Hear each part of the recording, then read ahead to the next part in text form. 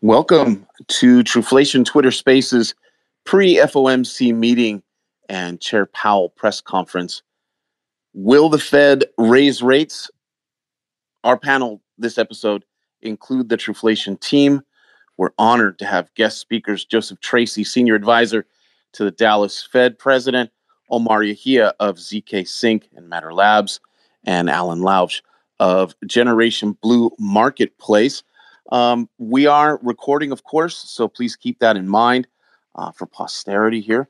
And we also archive all of our um, Twitter spaces up on YouTube. Uh, some housekeeping as well. Um, basically, after the panel weighs in, we always open it up to listener questions. If you'd rather not speak, simply tweet at us at Truflation and we'll pose your question to the panel. You're listening to Truflation.com Fed Analysis, sponsored by Truflation Premium, our comprehensive data service for investors, businesses, and those who wish to stay in the know. Uh, introductory prices will not last too much longer. Uh, so surf over to Truflation.com and click the black download data button to order yours today.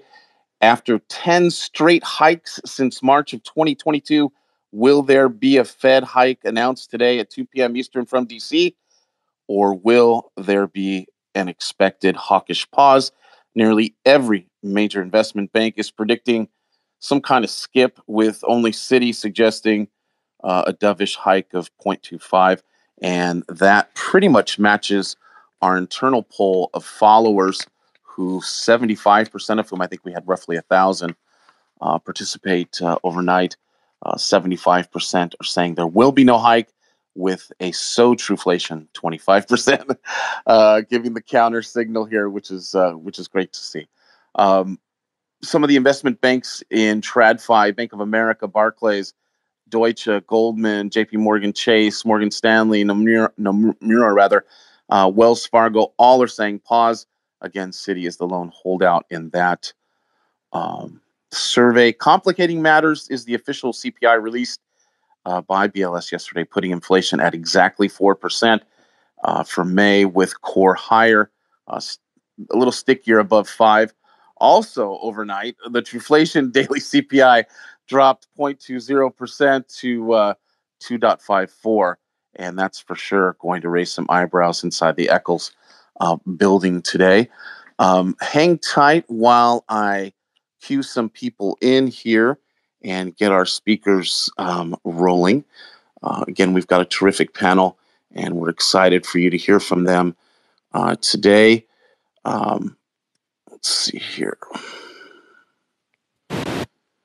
Trying to get them all in. And it looks like if you wouldn't mind muting yourself, and let's see here. I think I've got everybody. Um, let's see, let's see, let's see. Um, yeah, I think it looks good. Um, we'll start off with uh, our CEO of uh, Truflation, and that would be um, Stefan Rust. Um, wow, it feels like we, we just did this, uh, Stefan, uh, a couple days ago. Uh, how are you feeling now? What's what's your take? And uh, with all these these podcasts and and media hits that we're doing, I think the question that kind of rarely gets asked, uh, but maybe you can uh, help us with, is how does the average listener use the information we're about to impart? Well, I guess you can always hedge yourself against the market and anticipation. So one example, of course, is if the inflation rate meets the outcome and the decision of the FOMC meets market expectations, then the prices in the markets are likely to stay pretty stable because the expectation is being met and that is likely to be built into a large portion of the prices. In the event that it is above and below, markets will react accordingly in surprise. Um, I think this time round, the market is anticipating zero interest rate hike. Um, and as a result, you know, if that does happen, then um, ultimately it met market expectations. Pricing will have been built in, and we won't see too much of a sway. In the event they raise interest rates by 25 basis points, I think you will see the markets drop significantly, and vice versa. If they reduce interest rates, which I think a large portion of the market sees unlikely, um, you will see the markets go up significantly because, again, that's against expectations. Anyway, all these factors play in. Those are not investment advice, obviously. It's just uh, um, what I think one can expect. Um, yesterday's inflation numbers were really good in terms of a huge drop. So the tightening of liquidity in the market has resulted in significant price drops um, around the world, resulting uh, in not necessarily disinflation. So prices are rising at a much slower rate, is what that means.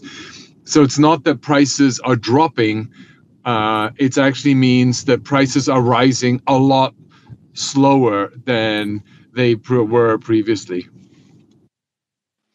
Yeah, that's an important distinction to make.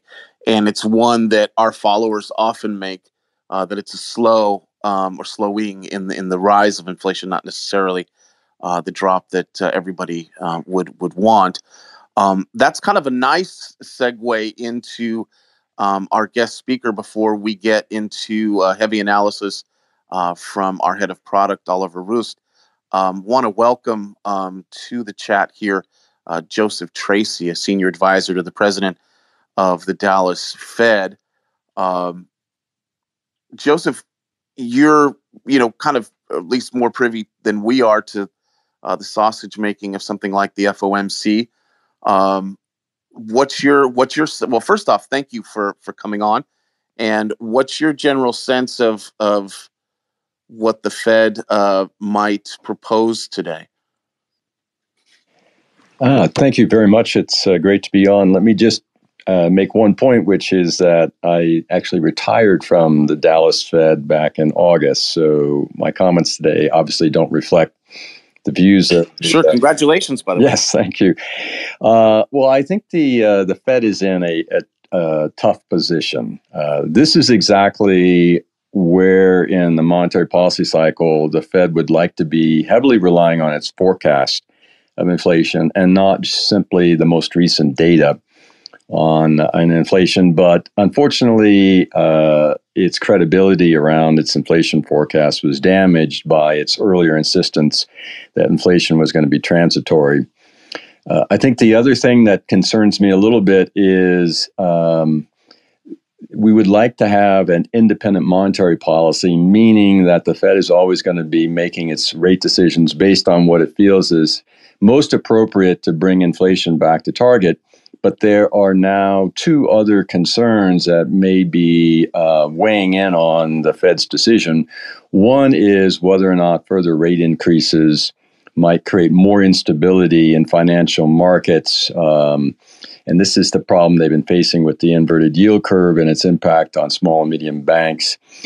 That's unfortunate because prudential and macro prudential supervision should have been able to take care of these issues uh, to uh, allow the Fed to continue to exercise kind of an independent monetary policy. The other is that we have an election year coming up next year. And even though the Fed is politically mm-hmm. independent, it is very aware that a recession in the second half of this year or first half of next year could be quite consequential uh, for the election. And so uh, that may also weigh on their thinking uh, and so these these are some complications that affect their decision. But I think the final thing I'll say, just uh, as introductory remarks, is that whether they move 25 basis points uh, today or not is not as material, I think, as looking at what they say their forecasts are going to be for uh, policy rates to the rest of this year and into 2024. And this will come out with the new survey of economic projections. And this is where I think it's important to see where they think rates are going to be ending up at the end of 23 and whether or not uh, members are uh, expecting to cut rates in 24. So that's what I will be focusing on is if there are any material changes in that survey from the last one in March. Excellent. And you're listening to truflation.com Twitter Spaces uh, for an FOMC um, Fed rate hike um, uh, possible or possibility rather. Um, that was uh, Joseph Tracy, um, former um, senior advisor to the Dallas Fed, and uh, we'll uh, shoot back to him in just a minute uh, with his opening remarks there. Um, on to our head of product, uh, Oliver.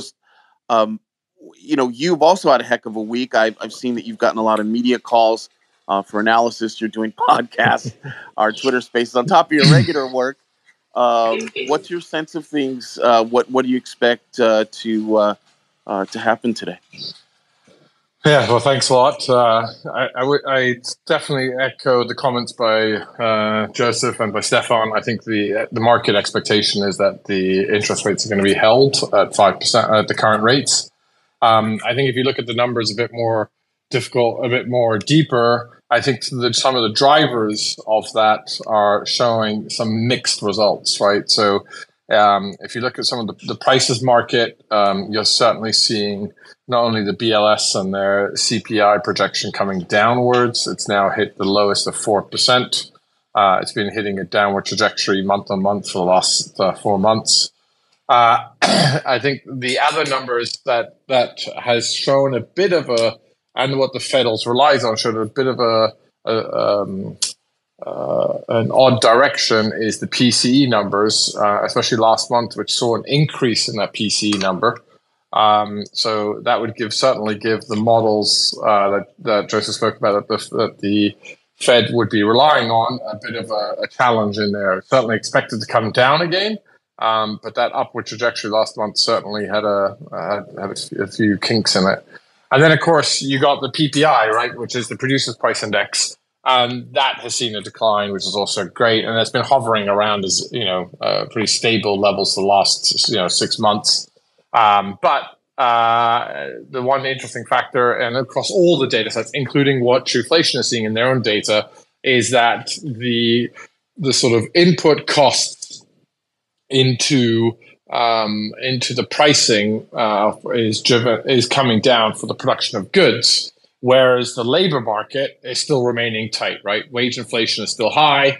Um, unemployment, yeah, it's peak. It's gone up a bit from three point four to three point seven, but the wage inflation is still hovering around five point five percent. Jobless claims, yeah, relatively stable this month. Looking at the last four weeks, but yeah, going an upward trajectory. But that labor market is still relatively hot. Uh, the prices seem to be coming down, and they're driven in part by the, the cost of goods. So basically, what we're seeing is, yeah, I think the goods element is starting to come down, and we're moving away from a, a supply-driven inf- uh, inflationary market into a demand-driven inflationary market. And then I think the secondary factor is the labor market remains hot, and so therefore all the price of services are still strong. Um, and the final point I'd say that where the Fed is also going to deal with is not is also the um, purchasing power, which seems to be on the rise. Right, and the first time in a long time, we have seen inflation and wage increases now at five point five percent, and now uh, inflation at four percent. So you're seeing an increase of, of uh, purchasing power, which uh, you know, with the job market the way it is, uh, means we're certainly not out of the woods yet. Yeah, I think uh, I think that's uh, that's well put. Uh, if you're just joining us, uh, we are talking about the Fed and the FOMC gathered um, in DC today and what they may be doing. Kind of a read of the of the tea leaves, as it were. We are joined by Joseph Tracy, former advisor uh, to the Dallas uh, Fed president, um, Oliver Rust, who you just heard, head of product at Truflation, uh, CEO Stefan Rust of uh, Truflation and I'm going to bring in now uh, a businessman, uh, a businessman, Omar Yahia of Matter Labs and ZK Sync. Um, you've had the sort of the uh, the catbird seat listening to all the commentary, Omar. Uh, what's your what's your general feeling? Are you going to buck the trend here and say they're going to raise rates, or or uh, how do you uh, how do you feel about what may occur today? Great, thanks for having me, and it's it's a pleasure to be here. Um, I did actually want to approach this from uh, a slightly different angle and ask whether it means anything to use the same set of tools that the Fed has been using for quite some time when it's very clear that both the uh, market structure and the uh, inflation environment are sort of profoundly different from where we were in pre 2018, pre 2020, post 2020, and then certainly post 2022 uh, with the war um, um, in the East. Uh, I was, uh, in fact, just reading some commentary by uh, Mohamed El-Erian, uh, and he was um, asking the, a very similar question. He was saying, I wonder whether it means anything to target a nominal rate that was decided ex ante before any of this sort of happened, and then use the same uh, tools that the Fed has been using uh, for, the, for the past decade to try and reach an, a sort of quasi equilibrium level. And the the the reason why I think it's a it's a relevant question is because everybody now is wondering should the Fed pause? Are they really data driven? Does it mean anything to pause? Because if you're certainly data driven, then having one month of pausing does nothing. It, it, from a statistical perspective, it, it, basically doesn't inform you of anything. Um, and and how does that affect your uh, uh, your market operations? We know for for quite some time now the Fed uh, the Fed's main tool for open market operations has really been uh, open mouth operations, right? This, they they sort of project uh, uh, a certain outlook onto the market, and it's self fulfilling. So this is more a question towards uh, direct towards Joseph, uh, who certainly has a, a, a, lot of experience in this. Um, but I I uh, I do I do think that in targeting a nominal rate in a way that's uh, very heavy handed, uh, and by heavy handed, I just mean by withdrawing uh, severe amounts of liquidity from the market, uh, in addition to what we know the Treasury now has to do by the end of the year uh, to top up what's almost $800 uh, billion worth of liquidity in order to replenish that pool for fiscal spending. I wonder if this is um, time to rethink this paradigm of uh, targeting a two and a half percent inflation rate? Yeah, Joseph, I'll, I'll let you uh, take that. Um, great question, and that does seem to be um, the tension um, from the tech side, anyway. Uh, that you have a hundred-year-old institution um, trying to, you know, and you, you sort of spoke to this with regard to politics and so on in your introductory remarks. But uh, what uh, what what do you say to uh, Omar's um, um, contention there? A uh, very important point. Um, so the the goals for the uh, Fed are given to it by Congress, but only in quali- uh, sort of qualitative terms. So the Fed has a dual mandate, different from many other central banks, which is stable prices, so keeping inflation low and predictable, but also maximum sustainable employment. Neither one were defined explicitly uh, by Congress. In 2012, the Fed did adopt uh, a specific inflation measure, as you uh, indicated, PCE inflation, and then decided that uh, it would interpret the stable price mandate as 2%. There was a lot of debate and research at the time whether or not 2% was the right choice. Uh, and also, uh, what exactly did the Fed mean by 2%? And over time, I think there was some view that uh, the Fed might view 2% as like a ceiling, so it would very aggressively try to resist inflation going above. It uh, in August of 2020, it came out with a new framework which said, no, we're going to try to do this flexible average inflation targeting, and so if inflation has been below the target, we'll allow it to go above the target. That seemed ill timed in retrospect, given what was going on with COVID. Uh, but there's, you know, there's debate as to whether or not uh, two uh, percent was the right choice, uh, or whether or not the Fed should have adopted more of an interval. Like uh, we would be happy to try to keep inflation between, say, two and three percent. now, the challenge prior to COVID was that the Fed was consistently missing its target on the low side, and I think that's why it came out with that new framework. Uh, and what is now, I think, the important question is obviously the Fed rolled out its standard playbook uh, in response to COVID and tried to attack the problem the same way it did following the financial crisis. But this was a very different type of situation, uh, starting much more with, as you said, a big supply shock uh, to the economy. And uh, I think the Fed also failed to recognize the much more aggressive fiscal response to COVID uh, than the fiscal response to the financial crisis. And this really left it a, a little bit flat footed and very slow. Uh, to respond. So it didn't even raise rates initially off of zero until March of 2022. We, at the Dallas Fed, we had been arguing back in the summer of 2021 that the labor markets are quite tight the Fed should start to remove accommodation, but that its new framework that it announced said that as long as inflation was not above target, it would no longer preemptively raise rates because of tight labor markets. And I think that was probably a mistake as well. The final thing to note is that um, you know the Fed's policy rate is a very it's an overnight interest rate, and you might say, how does that really uh, affect the economy or, or inflation even in the long run? And it only does it through its impact on financial conditions. And the challenge that I think the Fed has been in, particularly uh, uh, during this uh, cycle of removing accommodation, is that uh, the market, at least a segment of the market, has not believed the Fed's communications. And so the Fed has talked about having to raise rates and keep rates, you know, higher longer in order to bring inflation down. And the market keeps pricing in that the uh, Fed is going to have to uh, aggressively cut rates at either the end of this year or next year. And that led to this very steep inversion of the yield curve. And so normally, yeah, forward guidance was something that the Fed started using during the financial crisis when rates were at zero but it hasn't worked as well this cycle because uh, there again is a bit of a credibility problem uh, between the markets and the Fed. And so, ironically, uh, keeping rates uh, flat at this meeting might actually lead uh, to some tightening of financial conditions where a uh, further increase in rates might cause some of these market participants to say, oh, the Fed's just compounding its mistake, and we're certainly going to, you know, get into a recession in the year, and the Fed will have to back off.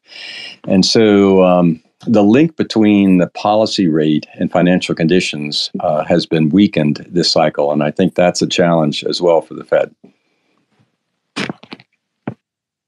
One, no, sorry, just one question, if I have, maybe to the, the just overall all of us here. You know, it's like one of the philosophies in the past has usually been how can I shock the market to bring it um, more in line and, and then withdraw liquidity out of the market versus the continuous increase of interest rates at 25 basis points over a cycle of 10 consecutive meetings?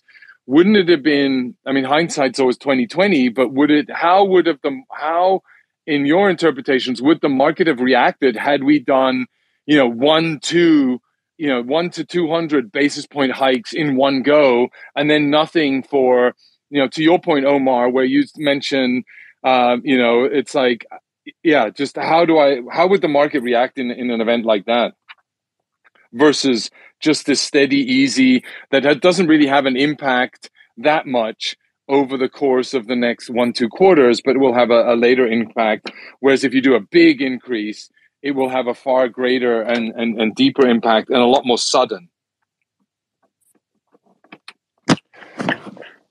So this was in, in looking back at sort of former uh, rate cycles. This has been a, I guess, a fairly aggressive rate cycle, but not as aggressive as you just described.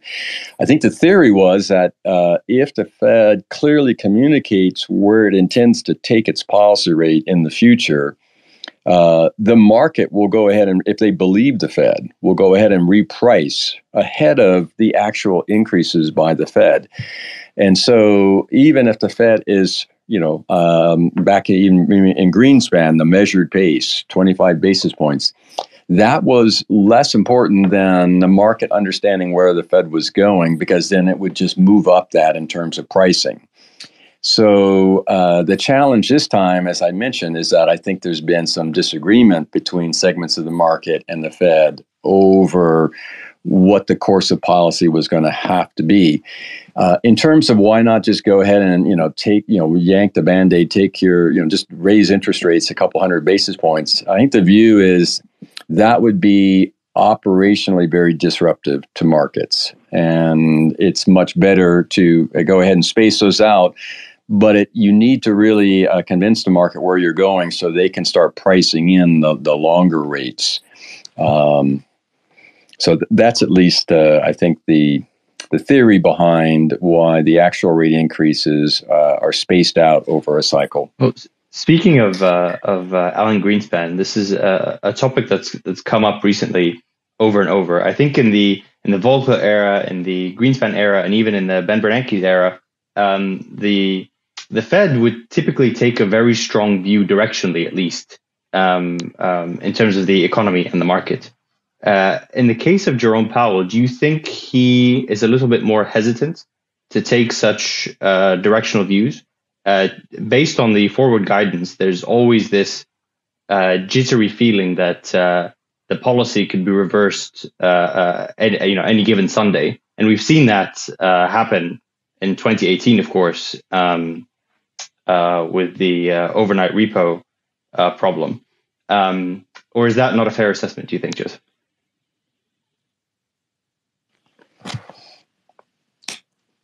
Well, I yeah, I, I think some have um, have expressed concern that that Jay sometimes has kind of moved back and forth in terms of uh, particular stances for the committee.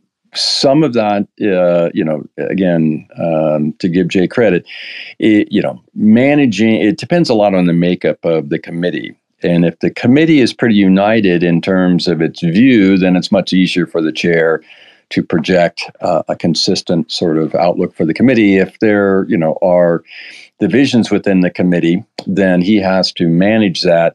And certainly in a, a period, uh, you know, like after the financial crisis and then the, the COVID health crisis, uh, I think chairs want to uh, project to uh, the business community that the committee is, you know, united uh, on a particular view, and to try to avoid dissents, and that can, you know, lead to a complicated negotiation process between the chair.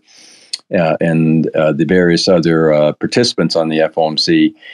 I do feel, though, that in in in some cases, I think Jay was underplaying what the challenges might be. So I think it did not help that early on. Well, first of all, this this view that it was largely just these temporary supply shocks. They underestimated how long it was going to take for that to repair itself. And I agree that a lot of the reduction we've seen in inflation to date is probably reflecting that that driver has largely uh, been resolved. Um, but Jay kept uh, stressing this idea of engineering a soft landing. Uh, and kind of backpedaling that to get inflation down uh, back to 2%, there is a high probability that the economy is going to have to go through uh, a recession. And I think it would have been better if he had just sort of told the public this is certainly uh, the risk because we have very few soft landings uh, in our history and prepare people that uh, the committee is willing to do this. It, it's important enough uh, to get inflation down that if this is what it takes. So I think a lot of people were wondering whether or not he would really uh, risk a, a, recession if that's what it uh, took to get inflation down. And now, of course, as I mentioned, we're right on the heels of an important uh, election. That is just going to come back, I think, uh, to cause people to say he won't risk it. And this is where you start worrying. I think if you're trying to decide what what is inflation going to be in the future, uh, is the committee really committed over this next year to get inflation down, or are other considerations going to compromise its decision making for a period of time? Uh, with you're listening to Truflation Twitter Spaces. We are discussing whether the Fed will raise uh, rates today, and uh, I think a little deeper analysis of uh, really understanding the mechanisms of the FOMC. Uh, we are honored to have uh, guest speakers Omar Yahia of ZK Syncs and uh, Matter Labs. and of course uh, Joseph Tracy, former advisor to the Dallas uh, Federal Reserve president. Um, kind of piggybacking off of Omar here. Um, you know, let's. I don't. You know, you Joseph. You don't need to be um, a psychoanalyst, but looking at say that because as soon as uh, Omar said uh, or mentioned uh, Paul Volcker, I, I I often wonder if there's a Volcker like personality within those 12, uh, 12 banks. Um, I, I, don't think we'll see a, a chair like him um, ever again. But uh, interesting, you know, guy, uh, very bold and brash. Uh, that contrasts, at least popularly, uh, with um, our, our last two uh, um, Fed chairs in terms of Jan- Janet Yellen um, and uh, and Jay Powell. Um, it, I'm not sure what I'm asking. is is and you sort of spoke to it already a little bit, but is there a Volcker in the group, and how would you sort of compare uh, Yellen and Powell in terms of their temperament? They seem roughly the same, at least from the outside. Well, as I commented earlier, um, the Fed was was designed with lots of political independence. So we have budgetary independence. Um, the uh, while the governors are uh, political appointees, the 12 Reserve Bank presidents uh, are appointed by their boards of directors, five of which uh, are on the FOMC on any cycle.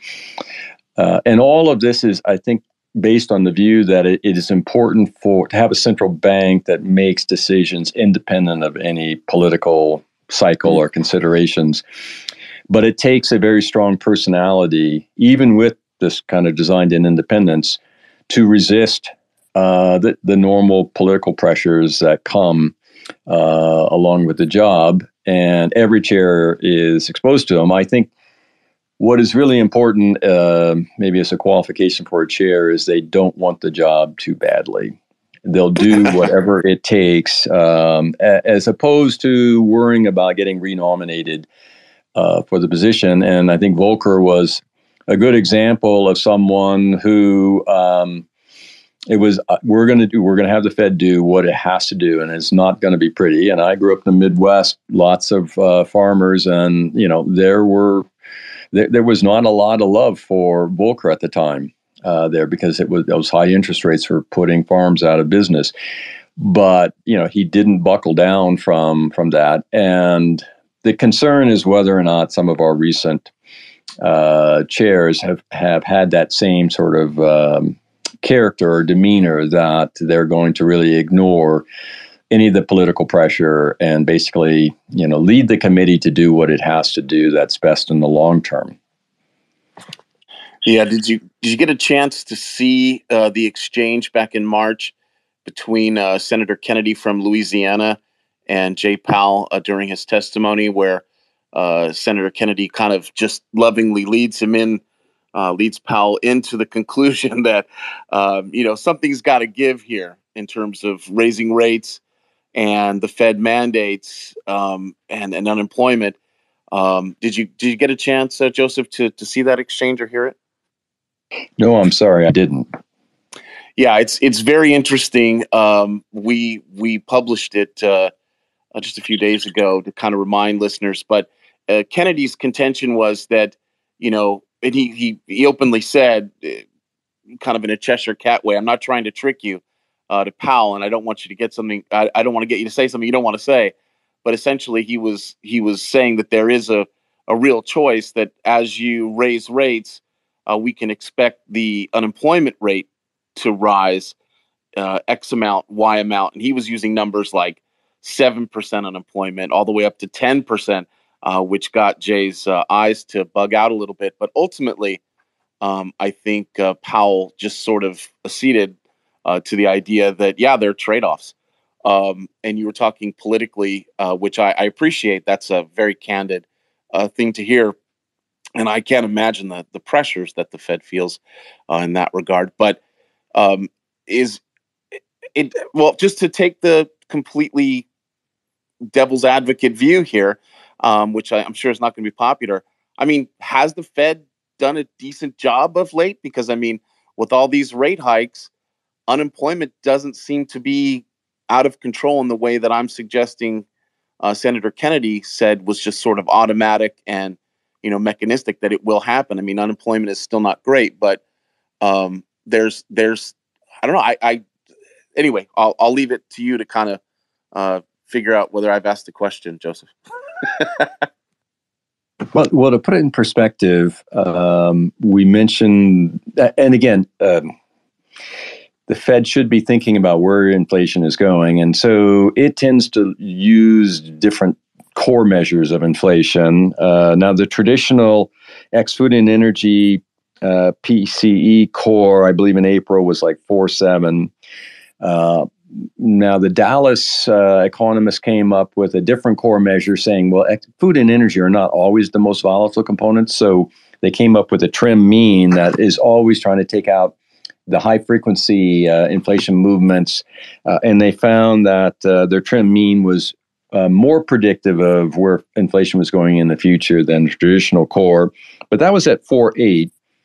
Now that co- that stands in contrast to uh, Truflation's measure. But if you take that 4.7 or 4.8 and you look at where the policy rate is, that's a that's a very small nominal positive rate, and most people think that the real short term rate is probably around a half percent, although some think that it may have even risen from that.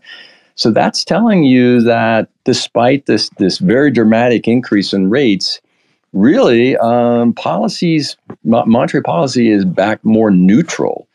Uh, now we should also factor in that the Fed is unwinding its balance sheet, so that would add a little more restraint. But it's not as if these uh, rate increases have pushed the policy rate well above the inflation rate. And so that's probably all, that and, and the significant amount of savings uh, that the household sector accumulated from the fiscal policy. This is probably why the economy is held up this long. Although those things are going to be dissipating. So the, the savings is going down. Despite the real wage increases, the majority of uh, workers are seeing their real wages decline. Uh, and so that's why I expect we'll see the economy to continue to slow as we get into the second half of the year. And just historically, it's very hard to have the unemployment rate increase by, say, you know, a half a percent or a percent and stop.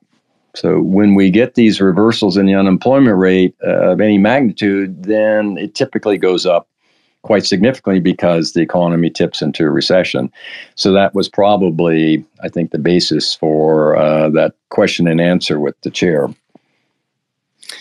Well, you all, you've got a real chance here to talk with a stellar panel. Um, we love your questions. Uh, you see that little heart uh, with a plus sign there. You can raise your hand um, and ask to speak. Uh, we'll bring you to the front of the line. Um, you can ask a question of the panel as a whole, which is comprised of our, our own CEO, Stefan Rust, and head of product, Oliver Rust. Um, you have Matter Labs, zkSync, um, uh, Omar Yahia uh, from the tech side, and of course, um, the former advisor to the Dallas Federal Reserve president, Joseph Tracy, all on the line here. Uh, great chance for you to ask uh, questions. Um, let me throw it back to the panel uh, until I start getting some some questions from our our listeners here. Um, what what are your thoughts? I I don't know if if anybody took a stab here yet to say that they don't think rates will raise or not. Uh, can you just kind of give us a thumbs up, thumbs down um, on to whether or not you think they're going to uh, uh, to raise rates today? And um, I, I've got the general gist, but I just want to keep it you know, short and sweet. Um, Stefan, what do you say? Raise, lower, stay? I think stay. I mean, that's that's you know, I think that's the general consensus. Um, yeah, and I'm sort of, I, they're definitely not going to reduce the rates. I just don't believe that. Um, yeah, I mean, the only, and if they want to manage a soft landing, I think they need to see where the market comes out at um, squeezing the market for more liquidity, especially after the raising of the debt ceiling, is going to be, um, yeah, and interesting. You're already seeing money markets move their funds out um, in into T bills. um, which is going to take out more money for the market. So I, I just feel, yeah, we're going to see, you know, it stay the same. Uh, Omar, what do you, what what do you say? Up, down, same? Um, I'm I'm very careful of of uh, trying to predict, um, but if I if I had to wager, it would certainly be stay the same. And in fact, allow me to ask one more question to Joseph. Uh, does this mechanically uh, make sense uh, in order for the Treasury to get its bill by the end of the year? Do you think that goes into consideration uh, with the open market operation pace of the Fed?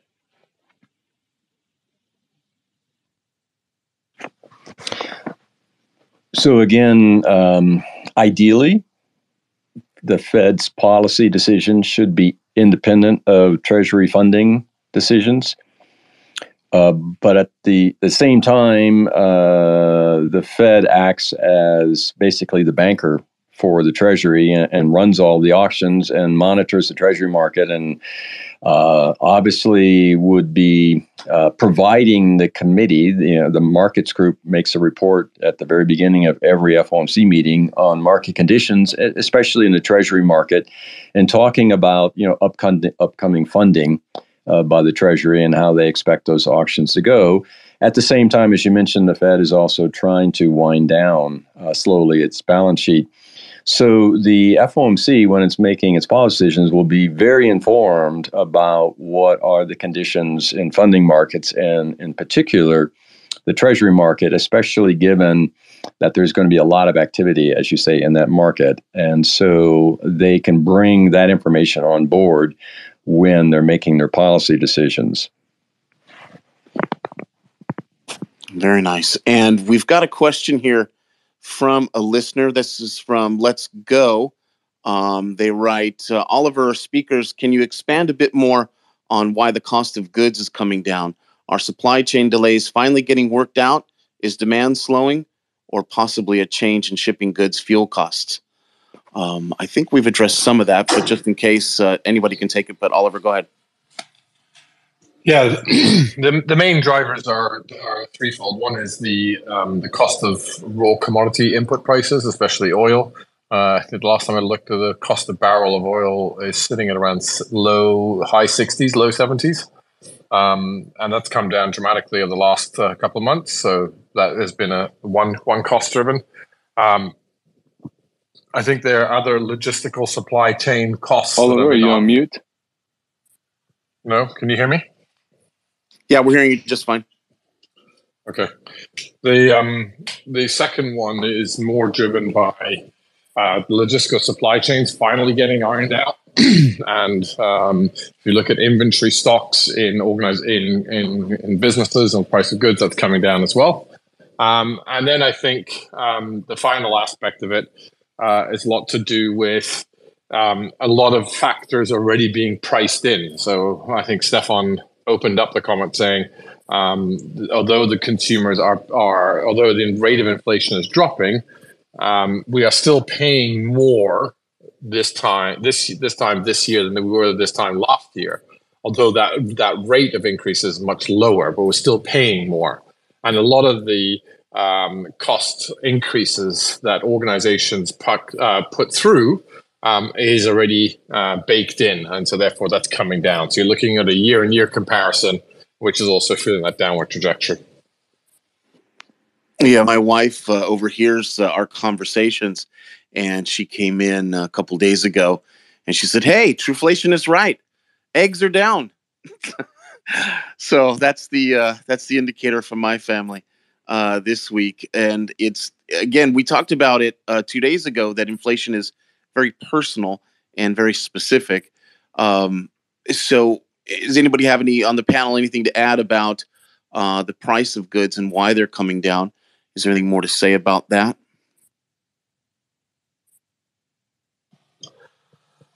The only other comment I would add, um, and this is more of a cautionary note, um, is um, as the import duty taxes uh, remain targeted on yeah, certain sure. product ca- oh on certain product categories, um, I would be a bit cautious on the future and the outlook to see how that progresses and where that goes.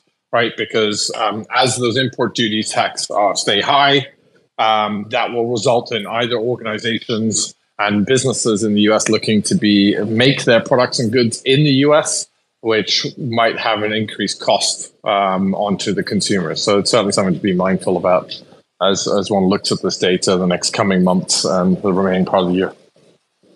And Omar, uh, as someone steeped in tech and tech business, um, how much uh, you you sort of spoke to it earlier a little bit uh, with your questions to uh, to Joseph, uh, but how much of the Fed's machinations and their movements impacts what you do um, at a at a business level in, in the tech sector? Well, whether whether we like it or not, the Fed at the end of the day dictates the average cost of capital, not just uh, in the United States, but basically around the world. So, in fact, it's probably mm-hmm. one of the most, if not the most important factor, uh, because every single enterprise that I look at, I have to ultimately think about uh, the future cash flows that's going to be generated from this enterprise, and I have to discount it appropriately. Okay, and the most important parameter in that calculation is certainly the discount rate, right? I mean, the the opportunity cost for engaging in any particular enterprise uh, in many ways is what can I do uh, with a sim with a similar level of return, but a much lower level of risk. And typically, uh, because the United States has had the privilege of being the reserve currency uh, of the world, the government of the United States, for the most part, is considered an extremely uh, good uh, debtor. And so everybody is willing to lend to the government of the United States. And to the extent that the Federal Reserve facilitates or inhibits that, it literally changes the risk appetite of investors all around the world. And it, more importantly, it changes the viability of a lot of different business models. So there's this concept that uh, people uh, refer to tongue in cheek, this idea of zero interest rate policy phenomenon or ZIRP phenomenons. And what typically what they mean by that is a business model or an economic model that thrives only or survives only due to artificially low uh, cost of capital. Okay, so um, whether we like it or not, the way in which we value businesses and the way in which we consider how to join common enterprise and how we ultimately profit from it is all dictated by the cost of capital. So, to answer your question very briefly, it is extremely important. Hmm. Yeah, and it's uh, that's it's it's interesting to hear it uh, put so plainly um, by someone in in the sector because we often think that tech is go go wildcat and they can just you know sort of hot shot around this um, this uh, century old institution. Um, it's interesting. It's just interesting to hear your perspective. Um, and well, I've appreciated the panel. Um, just a fantastic discussion today. Um, we appreciate everybody listening too. Uh, Joseph Tracy, um, you are the man for coming on and uh, and helping us uh, kind of weed through uh, uh, the murky business of, of the Fed as we see it. Um, really appreciate your time and your trouble. Um, any last words for us? Um, anything you want to say about uh, how we should maybe look at the Fed and kind of view it going going forward? Well, maybe one one last observation, and I mentioned this earlier challenge pre-COVID, where inflation was trending below two percent, uh, and the Fed was trying to to push it up. Is that the challenge in getting uh, reaching that two percent target is that service inflation has always exceeded the Fed's target, usually three plus percent. And so, what brought inf- the overall inflation down actually a little bit below our target in that earlier period was deflation in the goods sector. And so the challenge, I think, one of the challenges, think about going forward with all the changes going on in the economy that we've talked about and in financial markets, is how likely are we to see persistent deflation in goods markets return that will help sort of average down what is usually persistently higher uh, service inflation? And I do see a lot of challenges there. This has been a, uh, a fantastic discussion, and I'm very happy uh, that, to, to be invited to participate in this. Great. Really, really, really appreciate it. Um, all right, everybody. Um, thank you so much for for tuning in. Uh, we will uh, continue this on the other side. Uh, daily, you can keep up with all things Truflation um, on our Twitter account. Uh, Omar, uh, how can people uh, keep up with you, follow what you're doing um, in the uh, days and weeks to come here? Uh, well, thanks for having me. I'm I'm quite uh, active on on Twitter, and uh, my profile you'll see I have a um, an aggregation of all of the different work and projects that I'm working on at any given time. Um, you can find me on Telegram if you ping me on on, on Twitter. We can you'd like to chat. Um, and then you can follow us at uh, at Matter Labs. Uh, we're very easy to Google, very easy to find. And uh, if you're interested in uh, all things uh, validity proofs and uh, zero knowledge technology, as well as I suppose a little bit of dabbling in macroeconomics, feel free to reach out.